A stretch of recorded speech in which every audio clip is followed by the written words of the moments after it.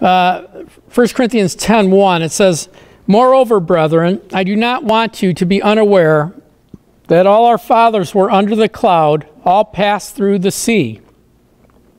All were baptized into Moses in the cloud and in the sea.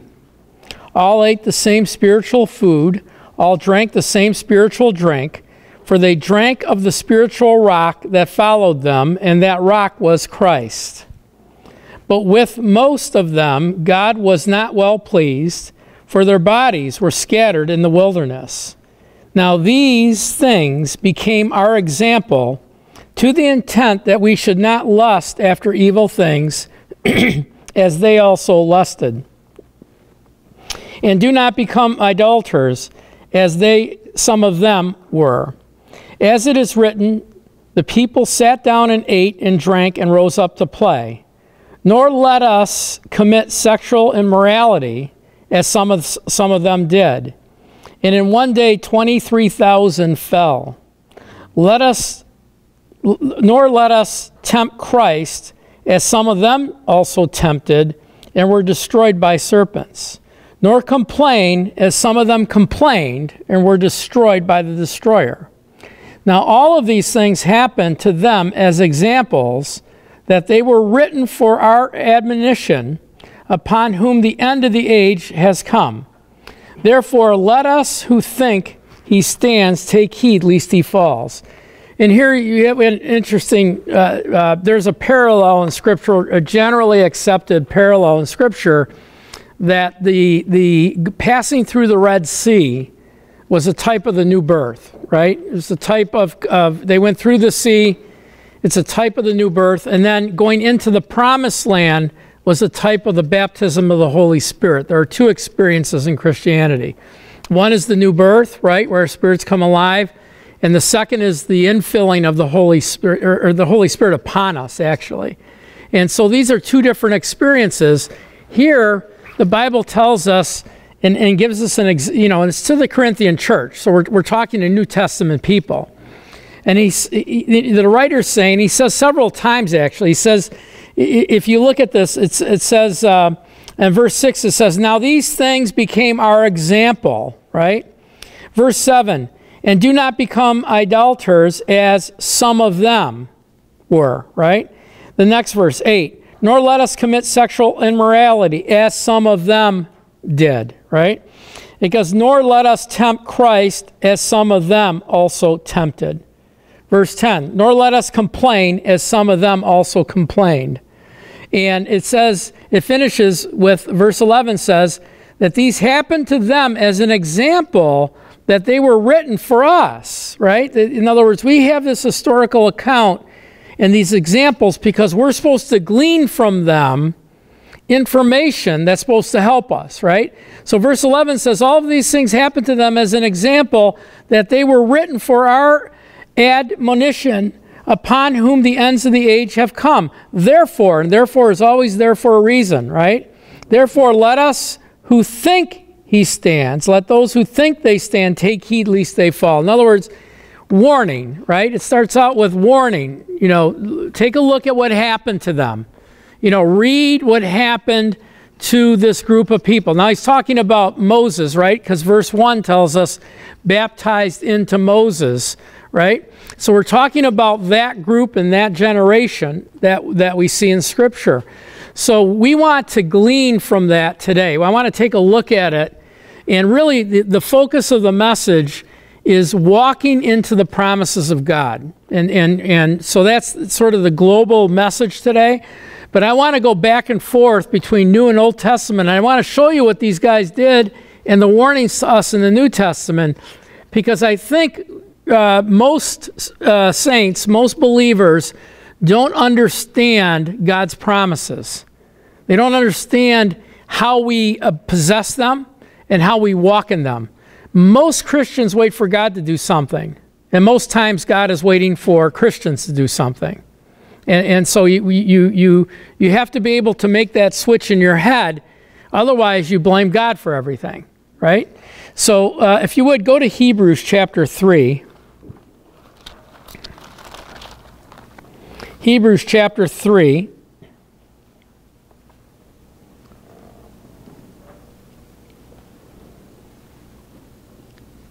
Verse 12, it says, Beware lest there be in any of you. So who are we talking to? New Testament, right? Beware, what is that? A warning, right? It says, Beware, brethren, lest there be in any of you an evil heart of unbelief and departing from the living God. But exhort one another daily while it is called today, lest any of you be hardened through to the deceitfulness of sin. For we have become partakers of Christ if, and if is a conditional word, we hold the beginning of our confidence steadfast till the end. In other words, there's a beginning and an end. You got to hold it all the way through. Today, if you will hear his voice, do not harden your heart as in the rebellion. For who, having heard, rebelled. In other words, they heard the promise and they rebelled. Indeed, was it not all who came out of Egypt led by Moses? Now, with whom he, you know, uh, uh, God, capital H, was angry for 40 years, was it not with those who sinned, whose corpses fell in the wilderness? To whom did he swear that they would not enter his rest? Because those who did not what? Obey. So we see that they could not enter in because of unbelief. Okay, so if we just go back through this, there's a, a, bunch of keywords. He's talking about a generation again, right? He's talking about uh, us, right? He's saying that if we're in Christ, we and we hold the beginning of our confidence steadfast to the end, right?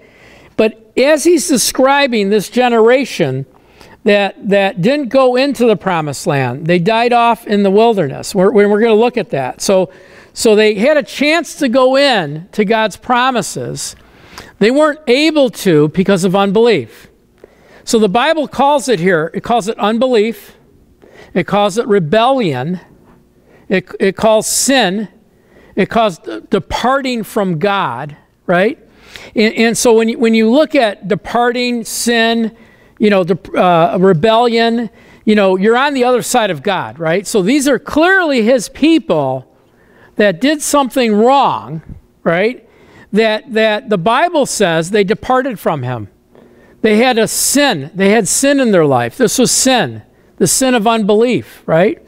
And, and so uh, when we look at this, they could not enter into God's promise because they didn't have the faith to walk into it, even though it was there, right? So, so now remember, the Bible tells us to look at them as an example, to take a look at what they did. Um, hold your, put a silk in because we're going to come back. Go to Numbers 13 and look at, let's look at what happened. If you've been coming for a while, it should be pretty familiar to you.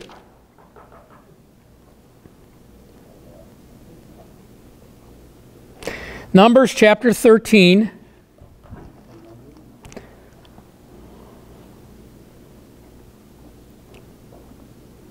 And the, verse 1 says, And the Lord spoke to Moses, saying, Send men to spy out the land of Canaan, for which I am giving to the children of Israel. From each tribe of their fathers you shall send a man, every one a leader among them. So Moses sent them from the wilderness of Paran, according to the command of the Lord, all of the men who were heads of the children of Israel. So here it is, the promise, right? I'm giving you this land right? The commission from God. Go spy it out. Go take a peek. Go take a look. Send these qualified men to go in and take a look. Verse 23. So they came to the valley of Eshcol, and there they cut down a branch with one cluster of grapes that they carried between two of them on a pole. They also brought some pomegranates and figs. So now picture how big this, you know, this cluster of grapes is. I mean, it's not like in a mire, right? It's these are like a big, you know, it took a pole and it took two guys, you know. So so verse 24, so the place was called the valley of Eshcol because of the cluster which the men of Israel cut down there. And they returned from spying out the land after what? 40 days. Now they departed and came back to Moses and Aaron and all the congregation of the children of Israel in the wilderness of Paran and Kadesh, they brought back word to them and, uh, and to all the congregation and showed them the fruit of the land. They told them and said, We went into the land where you sent us, and truly it flows with milk and honey, and this is the fruit of it. Nevertheless, the people who dwell in the land are stronger, the cities are fortified, very large. Moreover, we saw the descendants of Anak there, right? The Amalekites dwell in the south, the Hittites and the Jebusites and the Amorites dwell in the mountains, the Canaanites dwell by the sea and along the banks of the Jordan. Hold your finger there. So here they go, okay, God gave us a promise of this land.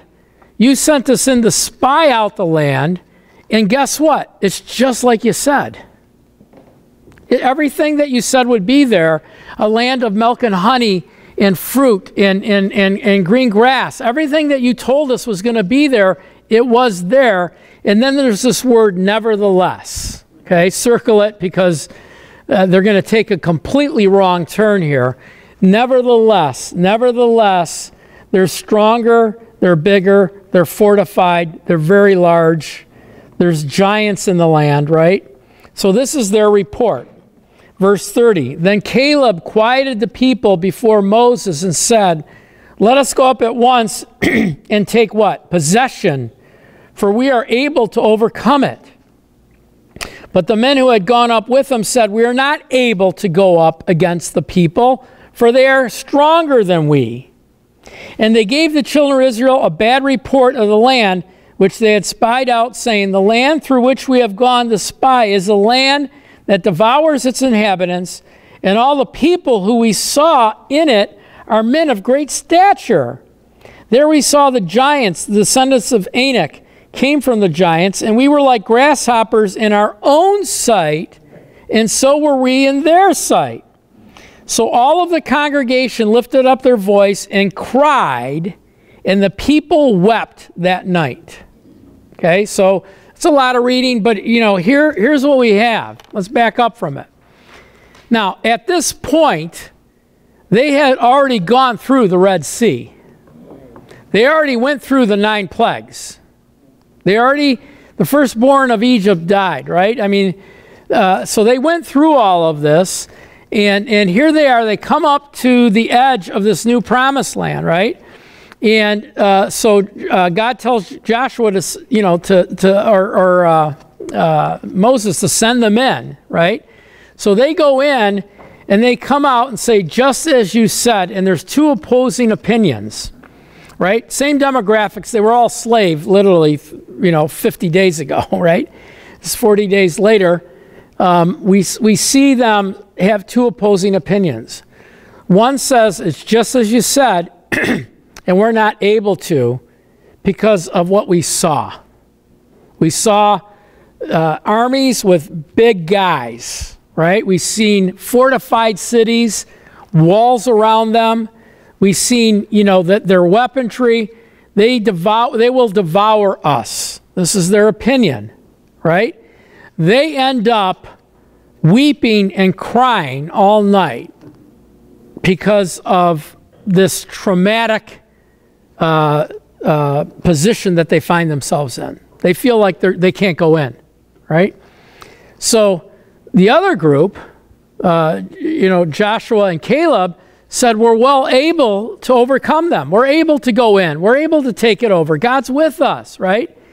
So you have these two opposing points of view. Now let's back up from it and let's see what's true. What's true is on the other side, there is this promised land that God ultimately is going to give to them. It's there, it's His promise. It's something that He said. Now, you're going to hear this a couple times. When God speaks something or says something, take it to the bank. You don't have to, once He says something, you can stand on it because it's going to happen. Okay? So once God said, I give you this land, and we'll see, we'll look at what Joshua encountered. You know, you're going to walk into the land, you're going to take the land, nobody's going to be able to stand against you, right? Uh, once that promise is laid out to God's people, okay, they have a decision that they can walk in it and possess it, or they don't. Old and New Testament, we're going to get there. But, but, but I want you to see that all this pain and anguish they felt because they wept all night and they worried about their children. If you keep reading verses, they're worried about everything. They're worried about this and they're worried about that and they're fearful about this and they're fearful about that. In the meantime, God has already, the God of the universe, creator of the universe, has already decreed, sanctioned, and given this land to these people. There is nothing that can stop that. Okay?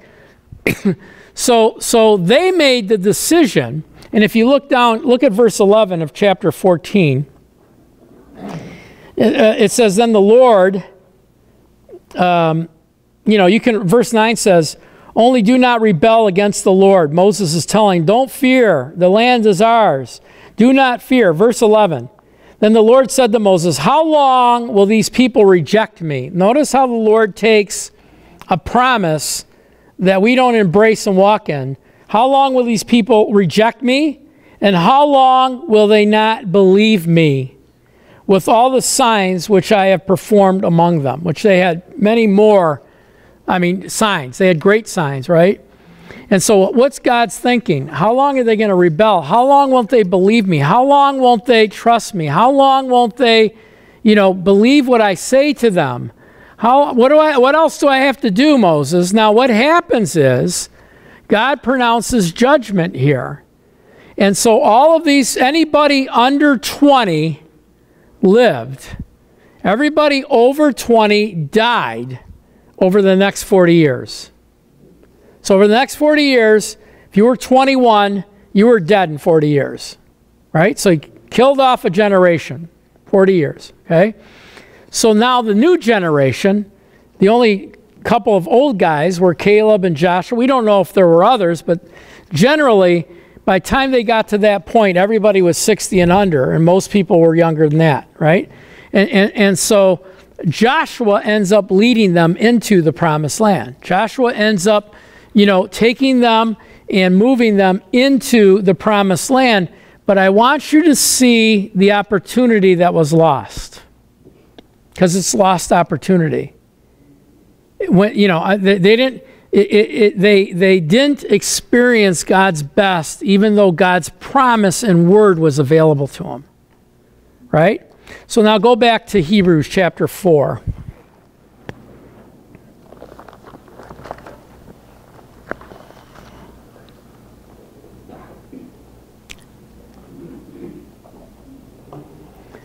Okay, verse 1 says, Therefore, therefore is therefore a reason, right? Therefore, since a promise remains of entering his rest, let us fear lest any of you should seem to have come short of it. So the Bible doesn't ask us to fear often. It says, therefore, since a promise remains of entering his rest, so we need to know what is that rest, right?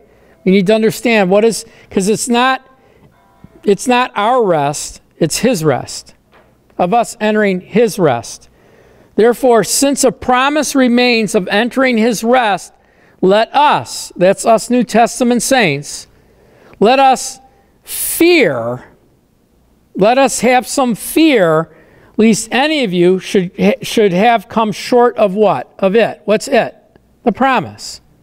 In other words, fear that there's any promise that's available to you that you come short of it and it doesn't live in your life. Okay? He says, For indeed the gospel was preached to us as well as to them. Who's them? the, the, the, the children of Israel, right? The gospel was preached to them as well as unto us. The gospel means good news. If you just write out gospel, it's good news. The good news was preached to them as well as unto us, but the word which they heard did not profit them, not being mixed with faith in those that what? Heard it. So, so now we see that both in the New Testament and the Old Testament, even though one is more physical and one is spiritual, right? We see that there's no difference in obtaining the promises of God. You have a promise, you either mix your faith with it and embrace it, or you don't. Right? So, so he's saying here, remember, he's talking the New Testament, but he's, he's, he's saying, listen, they had the good news, and they didn't go in. They didn't enter because of unbelief. I'm telling you, New Testament saints, you should fear that any promise, that any drop of blood or action by Jesus Christ, I'm amplifying, right? That you don't have it in your life. That's not a part of your life. It's, in other words, you, you're not possessing it in your life because it's all given to us. You follow? So he goes on, let's read on because he continues. So, verse 5. uh, actually, verse 4. He says, And they had spoken in a certain place of the seventh day. In this way, God rested on the seventh day from all of his works. So we know that, right, from Genesis. It says, And again in this place, they shall not enter my rest. Since therefore it remains that some must enter it, and those to whom it was first preached did not enter because of what? Disobedience, right? He says again, it designates a certain day, saying in David, Today, after such a long time, as it has been said, today, if you will hear his voice, that means you, your ears are open to hear his voice, do not harden your hearts. For if Joshua had given them rest, then he would not afterwards have spoken of another day. There remains therefore a rest for the people of God. For he who enters his rest has himself also ceased from his works as God did from his. Let us therefore be diligent entering that rest, lest any of you fall according to the same example of disobedience. Okay? A lot of reading, but here, here's what it's saying. It's saying that, that God ordained from the beginning of the world, right, this day of rest. And, and the, the, God's rest means that it's, there's a cease of work. On the seventh day, he rested. He didn't, he didn't do anything, okay? So he's saying, he goes back and he says, they could have gone in and entered his rest, but they didn't, okay? Which means the promised land was a type of rest, okay?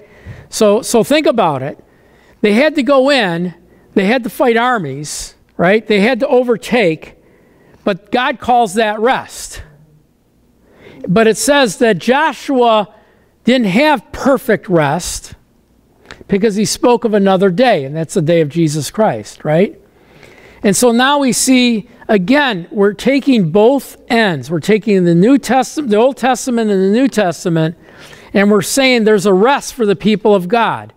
In the Old Testament, it was a type of Joshua going into the land that God had sanctioned and given him, walking in the promise that God had gave him, right? In the New Testament, it says Joshua didn't give them perfect rest. There's a perfect rest which is in Jesus Christ. And here he goes, there is a rest for the people of God who cease from their works as God did from his. In other words, there's no exertion of, of physical strength because it's all spiritual. You follow? So it says that we should be diligent to enter that rest or that promise. So there's a warning that we can come short of it. There's a warning that we wouldn't embrace it. There's a warning that we wouldn't be a part of it. There's a warning that we would give up on it. So when you look at it, it's up to us to possess that promise. In other words, if we find a promise in Scripture that is given to us in Jesus Christ, that promise is something that should live in your life and my life. If it doesn't, the defect is on our side of the fence. Okay, so go go to um, I was going to take you to Deuteronomy, but I'm going to skip that. Let's go to 2 Corinthians chapter 1.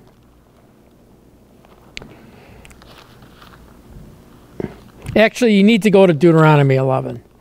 I need to show you. Uh, I need to show you a, a one particular scripture that plays into what we're going to talk about.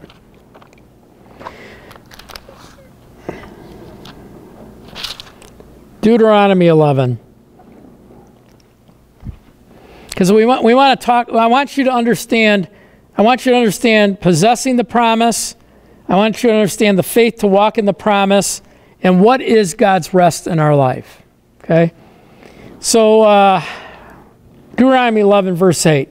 It says, Therefore, you shall keep every commandment which I command you today, as you may be strong. Go in and possess. Uh, there, he's going to say possess at least five or six times the land and cross over to possess.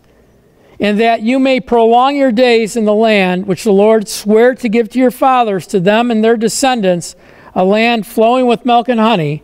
For the land which you go and what? Possess is not like the land of Egypt from which you have come, where you sowed your seed and watered it by foot as a vegetable garden.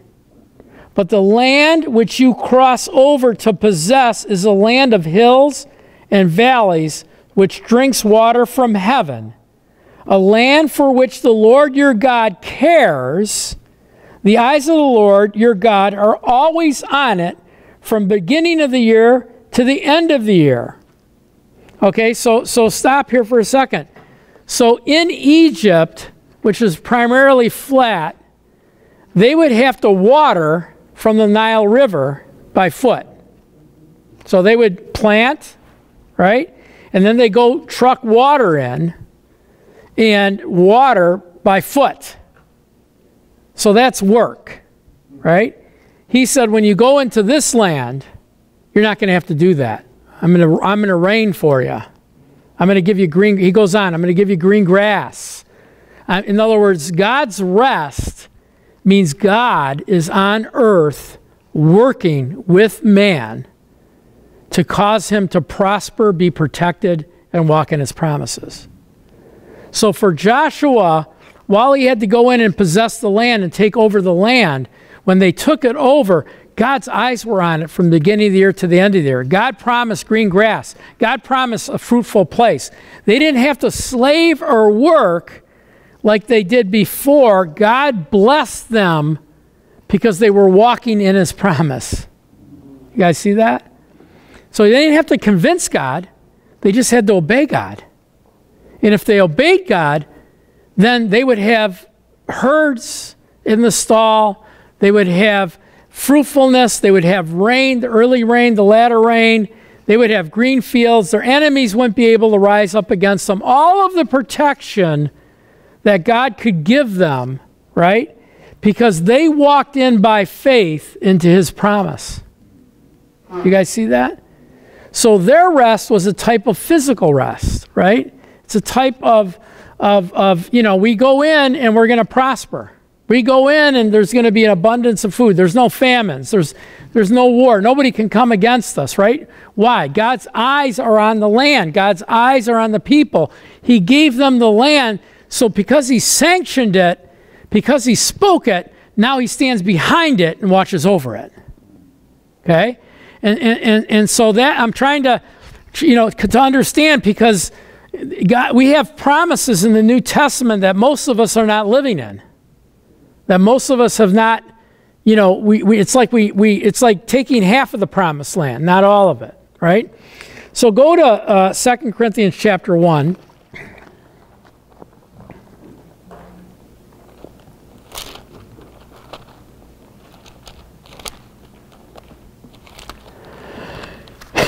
Excuse me.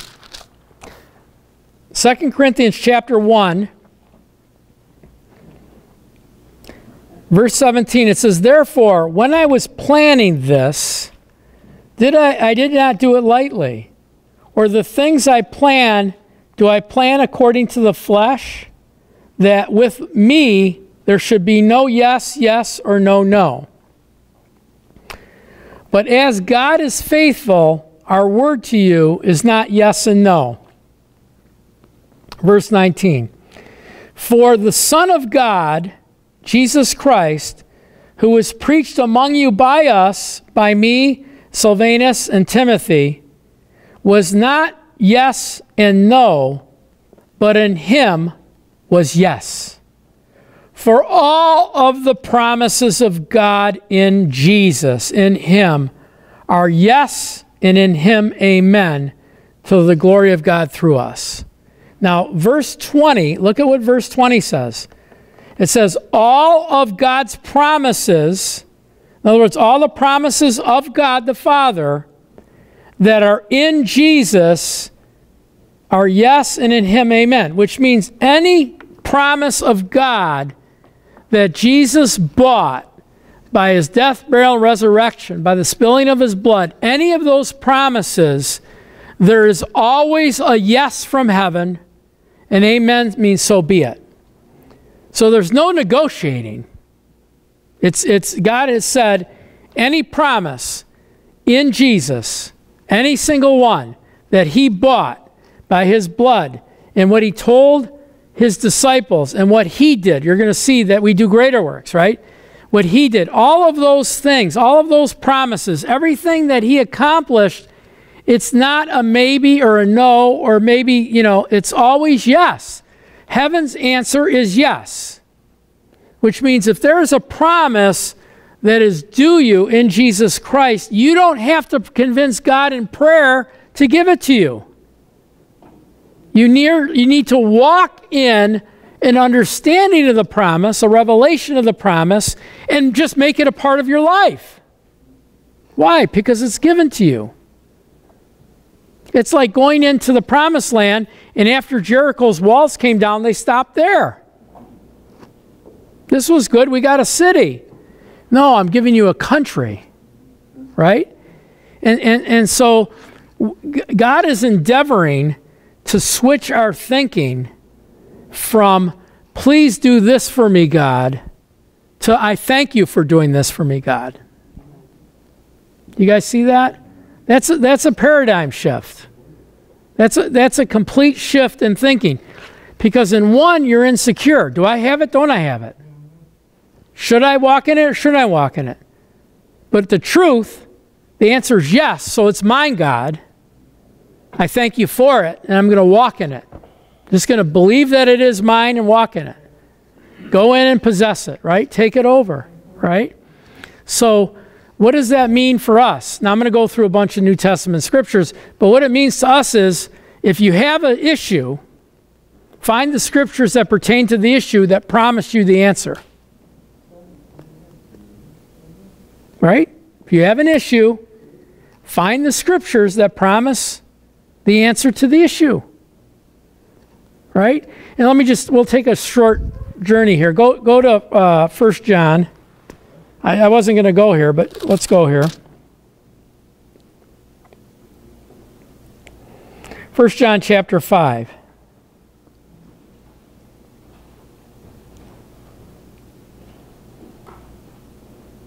And verse 12, it says, He who has the Son of life, he who does he who has the Son has life. He who does not have the Son of God does not have life.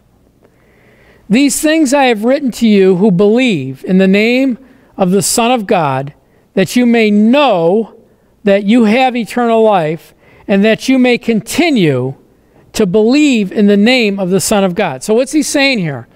He's saying, He who has the Son, a relationship with Jesus, has eternal life. He says, These things I write to you who believe in his name. I'm writing this because you believe in the name of the Son, so you have eternal life, right? He says, Now, verse 14, now this is the confidence that we have in him, that if we ask anything according to his will, he hears us. And if we know that he hears us, whatever we ask, we know that we have the petition that we ask of him. So, how do you have confidence in prayer? What's God's will? This is the confidence that we have in Him, in God, that if we ask anything according to His will, we need to know what His will is, right? He hears us, and we know that if He hears us, whatever we ask, we know that we have the petition that we ask of Him. So what is what is 2 Corinthians chapter 1? All the promises of God and Jesus are what? Yes and amen. So the promises are God's will. What was God's will in the promised land? Go in, I give it to you. It's yours, right? We don't, you don't have to sit here and negotiate about it. You start moving in, and I'm moving with you, right? And as I move with you, we're going to remove every obstacle because you're in my perfect will, right? So it's in the New Testament, it's the same thing. Okay, I accept that I am. Like for instance, people, some people. Let's let's take some examples. This is really not going according to my notes, but it's good. let's take some examples. Let's take, uh, you, you have a sin in your life. I don't look at anybody. So you have a sin in your life, right? And you're dealing with it, and you finally, uh, you finally uh, get your arms around it and you, you stop, right? You, you stop, you walk in the light, you repent, you know it was wrong. For you to feel guilty about that sin, you know, even if it hurt people, for you to feel guilty about that sin is a type of unbelief. Why? Because you're saying the blood of Jesus didn't do enough for us. 1 John chapter 1 says that if we walk in the light as he is in the light, we have fellowship one with another, and the blood of Jesus Christ covers our sins. Right?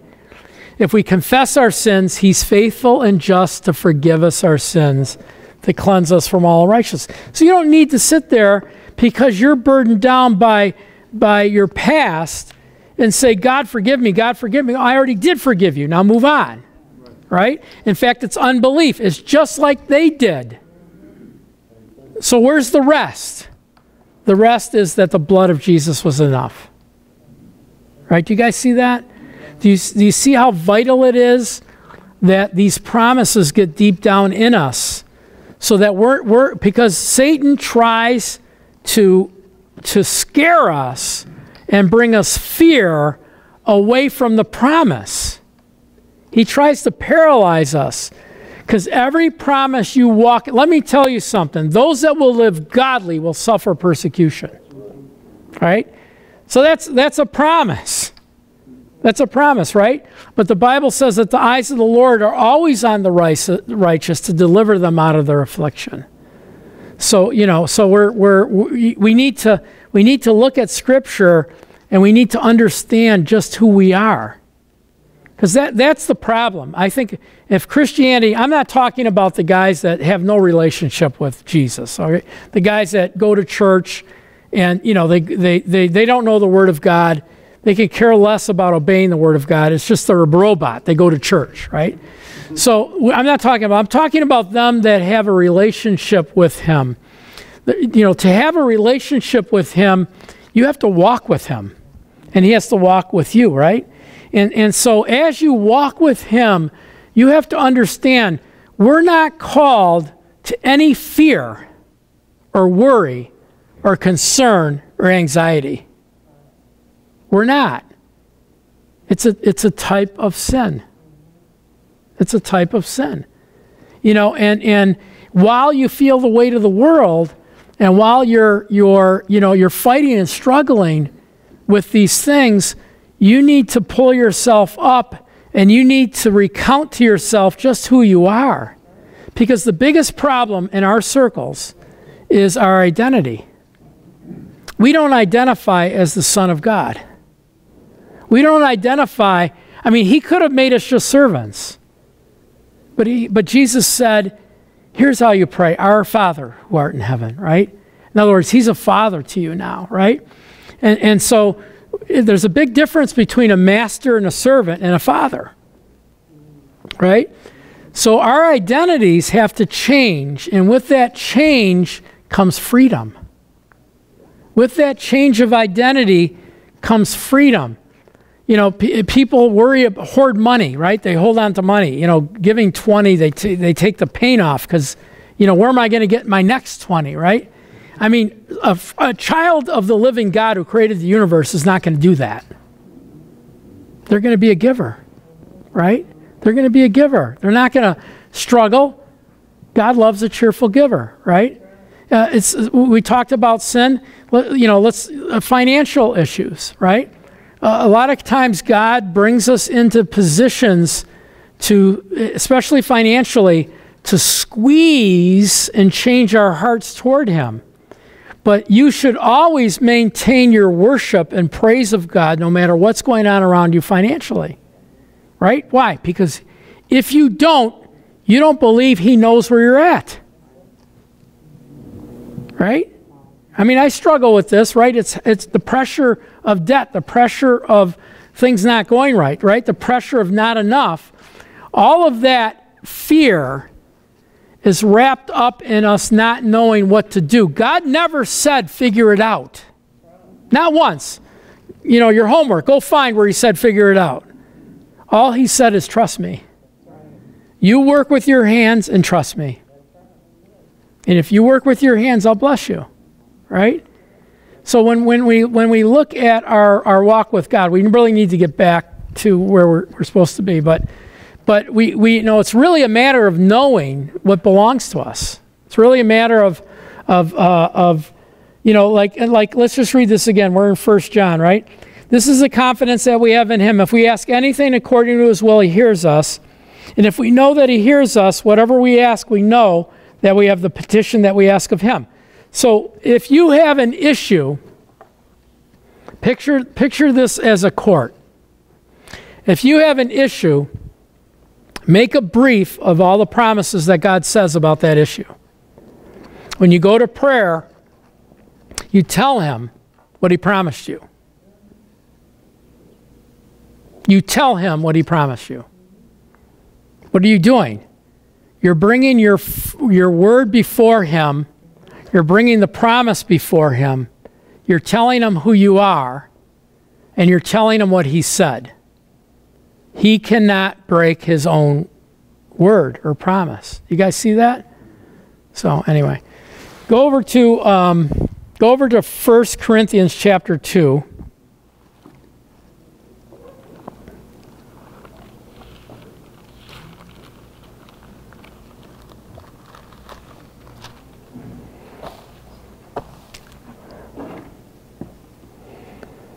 1 Corinthians chapter 2.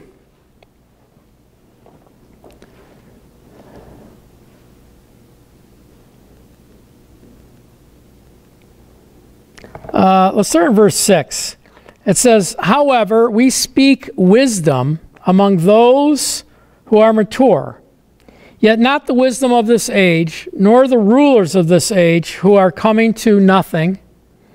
But we speak the wisdom of God in a mystery, the hidden wisdom which God ordained before the ages of glory, which none of the rulers of this age knew, for had they known, they would have not crucified the Lord of glory. So, so he's saying here, we speak wisdom. He's saying, we, me, Paul, the apostles, the teachers, and you, we speak the wisdom of God in a mystery. It was hidden from humanity. Uh, the gospel was hidden from humanity. Uh, the, the, the resurrection of Jesus Christ, if Satan knew what it would do to him, he wouldn't have crucified him, right? So this was hidden. And then it goes on to say, But as it is written, eye has not seen, nor ear heard, nor has entered into the heart of man the things which God has prepared for those who love him. So we have to look here. Where are the promises? The promises are the things, right? The wisdom of God and the things. So the things which God has prepared for those who love Him are the promises of God, right? You can put promise in there, are the promises of God which God promised to those that love Him. It says, But God has revealed them. What has revealed them? Revealed the things of God, revealed the promises of God to us through His Spirit. That's the Holy Spirit. For the Holy Spirit searches all things, yea, the deep things of God. so we have this, the, the Spirit of God searching the plan and purposes of God, right? And knows all the promises of God, right? And so that Holy Spirit, verse 11, for what man knows the things of man except the Spirit? See small s? That's the human spirit of man which is in him. Even so, no one knows the things of God except the Spirit, capital S, of God. Okay? So, so uh, verse 12, So we have we we now we have received not the spirit of the world, small s, but the Holy Spirit who is from God, that we might know the things or promises that have been freely given us by God. And so uh, just stop there. We're going to read on one more verse, two more verses. So here it says that natural man cannot receive or understand the things of God, the promises of God. They're just they're, they're, they're not absorbed in the human intellect, okay? They're, they're absorbed by faith, they're absorbed spiritually. So it says that our born again spirit, where the wall is taken down, right? The division between God is taken away. Our human spirit now communes with God's Holy Spirit to reveal the things of God to us. What you're doing tonight is exactly that. What you're feeling, what you're gleaning, what you're receiving, what's rolling around in your heart and your mind, it's the Holy Spirit that gave me a word as a teacher, and I'm imparting that word to you. It's not your head, it's your heart that's absorbing that. Do you understand? So, so that's why when you, when you look at those that don't know God and you look at those that do know God, it looks like everybody's speaking a different language. They can't see what you see. They can't know what you know. They can't learn what you learn until their spirit's alive to God. You know, we don't feel it. You know, you don't always feel it, but that Holy Spirit is in you all the time and, and revealing to you all the time. So if we go just go back and let's go through it one more time. Verse 11 says, No man knows the things of man except the spirit of man which is in him. Even so, no one knows the things of God, promises of God, except what? The Spirit of God. Now we have received not the spirit of the world, that's the new born again spirit, but the Spirit, Holy Spirit from God, that we might know the promises, the things that have been freely given to us by God. These things we also speak not in the words which man's wisdom teaches, but which the Holy Spirit teaches, comparing spiritual things with spiritual. But the natural man does not receive the things of the Spirit of God, for they are foolishness to him, nor can he what? Know them, because they're spiritually discerned. So you, you, you, there, there, there has to be, you have to get, in, when you get intimate with God in your prayer, you ever feel like God, you know, God's there hearing me, God's speaking to me, God's, you know, that's spirit to spirit. God is a spirit, you know. He manifests things in the flesh, right? Or in the, not in the flesh, but in the, in the world, right? Through answered prayer and other things. But when you pray, your prayer goes to a spirit being who answers you spiritually first, and then it manifests physically. And so you got to learn that. You have to learn to, to, to, to operate with the Spirit of God, right? And, and so we grow by positioning ourselves in church, right? Bible study, or at home on your couch. You position your spirit to receive from God. Every time you sit down and pick up your Bible at home, you should pray that God gives you revelation. Every time, if you pray in tongues, you pray at home, you should pray that God's, it's not a one way conversation. I want to know. Today I said, I want you to tell me what's going on. I want you to correct me if there's something wrong because I feel like I'm in mud up to my waist. So I'm asking you to speak to me. I'm asking you to tell me you know, I'm asking you to reveal to me what you're trying to do in me so I can participate. We can get this over. Right? What am I doing? I'm, I'm praying to God. I'm asking Him for His will. What does His will say? Those that are the sons of God will be led by what? The Spirit of God. So I'm asking His Spirit to lead me.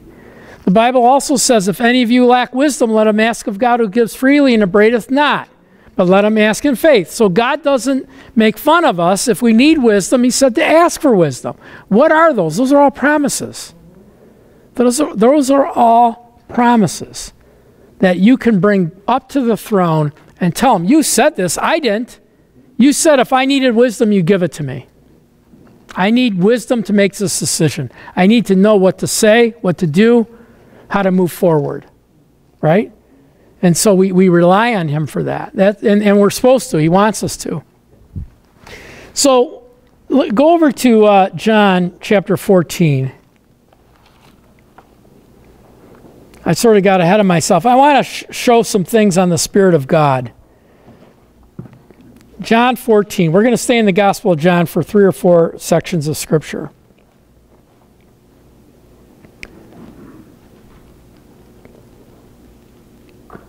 John 14, verse 15, it says, If you love me, conditional, keep my commandments. In other words, your proof of love for me is that you obey my word. I will pray the Father, and he will give you another helper that he may abide with you for how long? Forever. The Spirit of truth, that's the Holy Spirit, whom the world cannot receive because it neither sees him nor knows him, but you know him, for he dwells with you and shall be in you. I will not leave you orphans, I will come to you. So, the first thing you need to understand about God's promises, and, and it happened immediately uh, when Jesus came out of the grave uh, and he went, uh, you know, to heaven, he came back, he breathed on them, and he said, Receive the Holy Spirit. Last time God breathed on anybody was the breath of life that came into Adam, right? So he breathed on and then and then the spirit of god entered them and then anybody that believed their words the spirit of god entered into them. That's the new birth. Spirit of god cannot live inside a human being without that human being being righteous in the eyes of god. You see we become we become as righteous as god is in our spirit not our mind not our body but our spirit is as righteous as God. Otherwise, the Holy Spirit couldn't live in us. Right? So uh, 2 Corinthians chapter 5 says, He became sin who knew no sin, that we might become the righteousness of God in Him. So we are as righteous as God is in our spirit. Even though when you look in the mirror, you say, No way. Right? It's you are as righteous as God is. Otherwise, the Spirit of God couldn't live in you. Right? which means that at every twist and every turn, and every roll of your bed and every word of complaint, the Holy Spirit is there with you. You know, it, it, would be, it'd behoove us to say less and, and, and cry less and just trust God, right? Because the Spirit of God is there. So that's the first promise that I, I think, because once, once you know God's with you, once you know God's with you, there's nothing that can come against you that can win the battle. Now, will we have, will we fall? Will we be tested? Will we be tempted? I mean, Saturday we're teaching. Saturday is the name of the message is Satan's aggression. Uh, you know what Satan can do to us because he, he can do quite a bit. Even though we're talking about all of this, there's a lot that he can do, and there's a lot that we can stop him from doing, and there's a lot that God allows him to do. He allowed him to buffet Paul, right? And, and, and so we need, we need to look at that. We need to understand it because at the end of the day, when you glorify God, even though you're in a painful spot, it reveals to God in the spirit realm, elect angels and fallen angels, that you truly love Him and believe in Him. It's easy to worship and jump up and down and sing when everything's easy and breezy. But when you have a battle and you're in that battle and you're, you know, you're sweating blood, right? And, and you're, you're trusting God and you're trying to fend off the dark thoughts in that, when you can glorify and worship God in that place, you're really validating the true God. God gets more glory out of that than just about anything. What did he do with Job? Behold my servant Job. There's none like him in the earth an upright man, a man of integrity. Have you considered going at him? What was it? A challenge. It was a challenge. At the end of the day, what, what would the challenge do? It would show Satan God's manifold wisdom. It would show Satan that one who loves me isn't going to be uh, persuaded by things you can throw at him, right? So it changes where we it changes where we're at because I'm going to tell you the more problems you have, the greater threat you are to Satan's kingdom. I mean, just back up from it. Where does he want to spend his time? Not on somebody that's, you know, let's let's go to church to get it out of the way. You know, let's go to church to get it out of the way. Let's go Saturday night so we can have all Sunday to. You never get out of the way of visiting God in his house, right? I mean, you have to be sober enough to understand what you're doing, right? You know, people say that. I'm not condemning you if you say that, but when you think about it, we we go to God's house as a family to receive from God, right? And so it's not getting it out of the way. So if you said that, just repent tonight, get rid of it. Uh, also, here, if you look up um, at chapter 14 and verse 12, uh, it says, verse 12 says, Most assuredly I say to you, he who believes in me, the works that I do, he will do also. And greater works than these will he do because I go to my Father. Whatever you ask in my name, I will do, that the Father may be glorified in the Son. If you ask anything in my name, I will do it. If you love me, you'll keep my commandments. Now, it says there that we do greater works than, than, than Jesus, right? It says that God would give us anything that we ask. Now, you have to temper that, right? Because the temperance of it is if you ask according to his will, right? if you ask, you know, I mean, you know, you, you can ask for worldly things all day long. The first and primary thing for answered prayer is ministering to yourself, right? God minister to me, or me ministering to others that's where God answers prayers, you know, all prayers. If you're asking for, you know, three car garage, I don't know if you're going to get it or not. Right? I mean, because why? Because God has this plan, and and this plan um, has to go off according to Him. You know, uh, that's why a lot of the charismatic churches got it wrong by saying they could demand God's hand. You know. I mean, where do you get that? We're not smart enough to know anything anyway. Why would we have that power? Right? And so we, we, we have to learn. Remember, if you, if you can position yourself in prayer for something God has promised you, the answer is yes. The answer is yes. Is meeting needs a promise? Yes. Yes. Is abundant wealth a promise? No. no More than enough, right? So, so some are called to and some aren't called to. And so when you strive for something you're not called to, the Bible says you what? You suffer. You suffer because why? You're, you you always see yourself in a place where you're lacking because you want more, right? The love of money is the root of all evil. It's not money, it's the love of it that's the root, right? And so we need to go, we need to understand because one of the biggest things you can do is understand that God knows right where you're at and He has a plan for your next step. Right? He has a plan for your next step. So you may be trying to walk left and He needs you to walk right, so He's going to keep pushing on you until you get it right. Right? But He has a plan for each one of us. It's called His perfect will. The Bible says that we can do the good, acceptable, or what? Perfect will of God. Amen. So let's look at a, another. Uh, John 16. And this is some of my favorite scripture here. oh, it's five after. All right. Let's just read this one and then we'll, okay? Sorry. John 16, verse 19 says, Now Jesus knew that they desired to ask him, and he said to them, Are you inquiring among yourselves about what I said? A little while, and you will not see me, and again a little while, and you will see me. Most assuredly I say to you, you will weep and lament, but the world will rejoice. You will be sorrowful, but your sorrow will be turned into joy. A woman, when she is in labor, has sorrow because her hour has come. But as soon as she's given birth to the child, she no longer remembers the anguish for joy that a human being has been brought into the world, right? Therefore, therefore is a reason, you now have sorrow, but I will see you again. Your hearts will rejoice, and no one will take from you.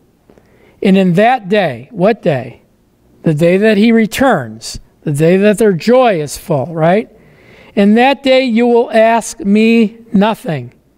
Most assuredly I say to you, whatever you ask the Father in my name, he will give it to you. Until now you've asked nothing in my name. Ask and you will receive, that your joy may be full. These things have I spoken to you in figurative language or parables, right? But the time has come when I will no longer speak to you in figurative language, but I'll tell you plainly about the Father. In that day, again, after his resurrection, you will ask in my name, and I do not say to you that I will pray the Father for you, for the Father himself loves you, because you have loved me and have believed that I've come forth from God. I came forth from the Father, have come into the world, and again I leave the world and go to the Father. Now, this, this to me, you know, this access to God is extraordinary. That we can go to his presence and he hears us. Jesus said, Don't even ask me. Praying to Jesus is not the right form of prayer. Praying to God the Father in Jesus' name is, right? So Jesus bought this. This promise is that God will hear you directly. God will hear your prayers directly. There's no, you don't need inter, inter, somebody to intercede for you. Although at times we need intercession, and you should intercede every day for other people. But in all reality, you know, what, what, is they, what do they do in the Old Testament? They go through a man to get to God. Denominations here. I grew up in, in the Catholic Church. Catholic Church still, you go through a man to get to God. It's wrong. Okay? We have access to God. And so we go direct. Okay? So putting a man in the way says you're not good enough. Remember the self esteem issue? Remember your identity? You have to know who you are. By putting a man between you and God, you're saying you're not good enough. You're not strong enough. You're not forgiven enough. You can go to God directly, right? So, anyway, let's bow our heads in prayer. Father, we bring up some prayer requests. Uh, we pray for Tom, who had uh, two strokes, 30 seizures, now blind in a coma. Father, we extend our faith toward Tom, Lord. We pray you do a miracle. We pray your healing power saturate his body, Father. Bring him out of a coma, Father. Give him sight back. Do a miracle, Lord. Give us a testimony. Give us, give us a, a, powerful testimony of a, of, a, of a situation that looks so bad Father, that no one can turn it around but you. Father, we pray for Tom for, for healing. We pray for Kim. She lost her job after 16 years. Lord, we pray that you open a door immediately for a new position, a new job, a new place. Father, we pray for Megan, who's looking for a job. We pray for, Father, a door to open, Father, to a perfect job. Uh, we, Nick is purchase of a new home. We pray that it goes without complication or side effects. Lord, and it closes. Pray for Ray, who's looking for a good uh, report on chest x ray, lung, heart, etc. Father, we pray for Ray. Father, we pray that you would, Father, uh, before even the tests are done, you would touch the physical body. Cause, Father, these, these reports, Father, to be, Father, uh, that you're healthy. Father, we pray, we give you glory and praise and honor. We love you so much. We're so thankful to you. Lord, we thank you for today's message. We pray it would not soon leave our hearts and minds, but Lord, this message would be burned to our hearts and minds, and your Spirit would continue to bring it up as we go through the week. In fact, we pray that you would open doors for us to share this message to others, Lord, that we can take this message and share it into other lives. Lord, we give you glory and praise and honor in Jesus' name. Amen. So, Saturday, 10 o'clock at Victory. I'll teach this Saturday. So, see you there. Be blessed.